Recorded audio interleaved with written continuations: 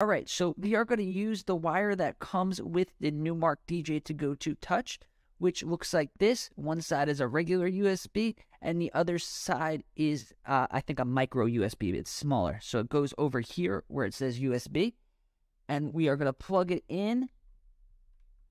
We're going to plug this end into here, and then we are going to plug this end into our, no, we're not. You can't put a regular USB into an iPhone. So what you're going to need is one of these adapters.